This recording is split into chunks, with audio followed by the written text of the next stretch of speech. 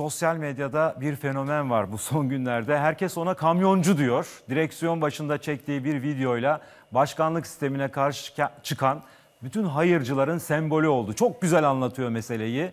Bakalım nasıl anlatıyor. Birazdan da canlı yayında konuğumuz olacak kendisi. Ey ahali, başkanlık sistemi mi gelecek? Adam gibi oturtun sisteminizi, denetlemeye açın. Eyvallah kim gelirse gelsin. Başkanlık sistemini eleştirdiği bu videoyla sosyal medyada adeta fenomene dönüştü. Meclisin elinden birçok yetkiler alınmış. Yeni anayasada efendiler bize yönetilme sistemi gerekmiyor şu anda. Bizi kurtaracak olan yönetilme sistemi değil. Sosyal medyada kamyon şoförü olduğu belirtilse de Kürşat Okuyucu esnaf kaydı da araç kullanırken telefonuyla yaptı. Boşanmalar had safhaya ulaşmışken efendime söyleyeyim suç oranları tavan yapmışken yani bütün sıkıntımız bitti. Başkanlık sistemimiz mi kaldı? Yaklaşık 8 dakika konuştu. Her sözüyle çok ilgi çekti, izlenme rekorları kırdı. Ey ahali! Hepimizin çoluğu çocuğu var, geleceği var. Futbol takımı tutar gibi parti tutulmaz. Kürşat Okuyucu stüdyomuzda. Ya biz sizi hep kamyoncu olarak bildik. Sanki böyle kamyon kullanırken, rampa çıkarken yapıyormuşsunuz gibi o konuşmayı. Öyle değil misiniz? Yani biraz öyle görünüyor da e, önce herkese kendi e, tarzımla bir iyi akşamlar dilemek isterim. Ey ahali. Herkese hayırlı akşamlar canım Türkiye'm. Peki bir şey söyleyeceğim. Siz bu videoyu araba kullanır, kendi arabanızı kullanırken mi çektiniz? Evet şimdi Peki ben şey, e, ne- geçen ne, iş yapıyorsunuz siz?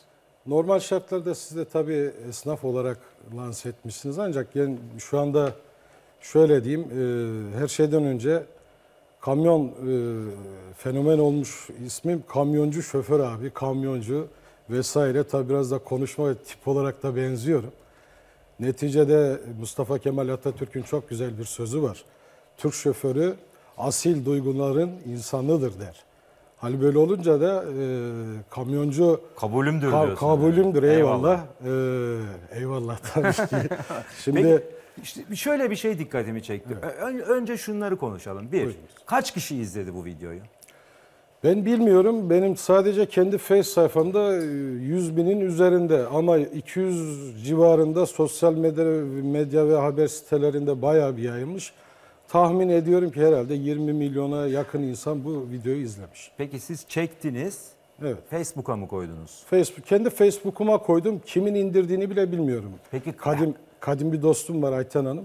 O kendisi almış birkaç grupta paylaşmış. Sonra da nasıl olduysa ertesi gün bir baktım fenomen olmuşuz. Nerede yaşıyorsunuz? Ankara'da yaşıyorum. Peki her zaman böyle siyasi konularla ilgili yorumlar yapıp Facebook'a falan koyar mısınız? Bu ilk miydi?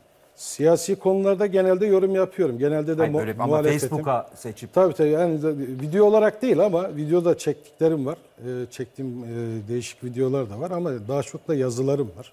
Ama şunu dikkat şu dikkatimi çekti. Siz böyle rigid, e, antipatik, böyle kökten karşı çıkan bir muhalif değilsiniz. Yok ben particilik yapmam zaten. Evet yani Ya ben e, şu net- Sayın Cumhurbaşkanımıza Tabii, da tabii, saygım tabii, var. tabii. Sayın Aynen. Başbakanımıza da var. Aynen öyle. Hiç- hiçbir sıkıntımız Belki yok. sizi etkili kılan yani sözlerinizin etkisini arttıran Evet. bu çok saygılı ifadeniz, tarzınız, üslubunuz. Aynen öyle. Ben sadece şunu söyleyeyim. Bakınız ben o, e, videomun içerisinde de kullandığım bir cümle var.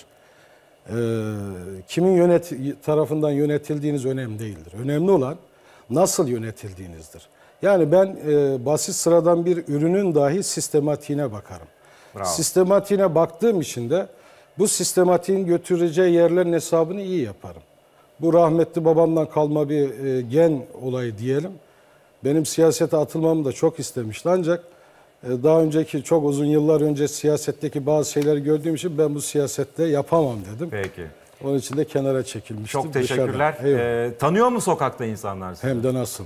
Yani şimdi Meşhur oldum diyorsunuz yani. Pek meşhur olmak iyi bir şey değildir iyi bir ama. şey değil. Ya ben aslında bir yandan da şunu da ufak bir not da eklemek istiyorum. Hani insanlar tabii merak ediyorlar da. Ee, ben e, sadece şahsi menfaatini, müstevlilerin emeline tevhid etmeyecek vatanperver bir insanım. Peki. İnsanlar beni bu şekilde tanısın. Bu mesajla bitirelim.